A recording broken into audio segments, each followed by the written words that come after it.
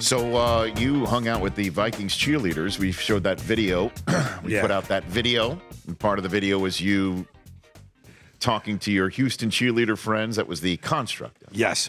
Very funny. Yes.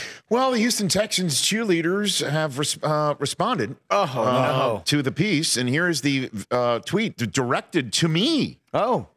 Hi, at uh, Rich. Uh, hi, Mr. Rich Eisen. Sorry to disturb you while you're doing your show, but can you tell us if Michael Del Tufo's story that these ladies are all new catering people that you hired is true? Oh.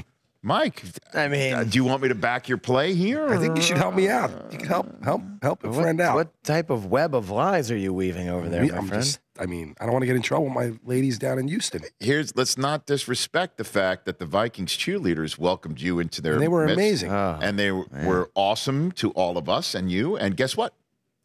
Next year, when we're in Atlanta and you hang out with the Atlanta Falcons cheerleaders, they'll be left in the dust too. That's just the way you operate, pal. That's just the way you operate. I come in and just Cheer them and leave them, or attempt to be cheer. You- You're terrible, man. no rhythm, Mike. No rhythm. No It's horrible. rhythm at all. The Rich Eisen Show, weekdays at noon Eastern on Audience.